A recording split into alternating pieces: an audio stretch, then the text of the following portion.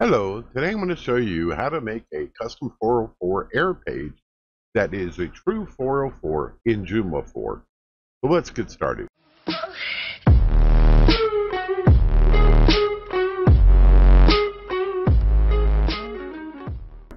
First we're going to go to menus and if you don't have a hidden menu you can create one or you can put it in your main menu but the important thing is you want to make sure that it is hidden.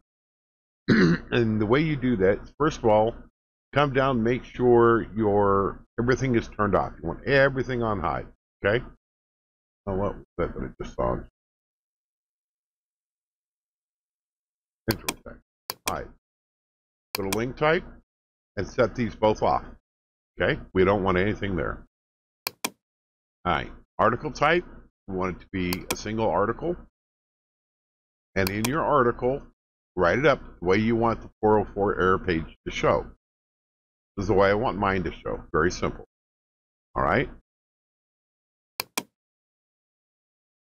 Okay. Oh.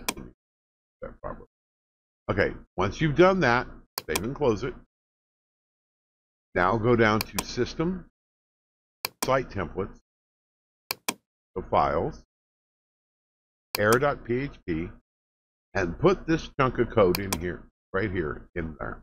Now what that says is when the browser sees a 404, bring up the web page that has the alias 404. So make sure your article has the alias 404. Nothing extra, just 404. If you want to use a different alias, then put that right there where the 404 is. Okay? Save and close that. Go to your front end. Put in something that you know doesn't exist.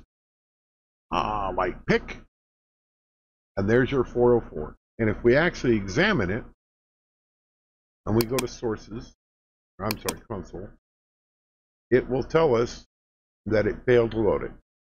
Right there. With the status of 404. So that's how we know it is a true 404 error page. That's all there is to it. Hope that helps. Have a good day. Hey, wait and hit the like and subscribe, would you? It'll help a lot. A lot.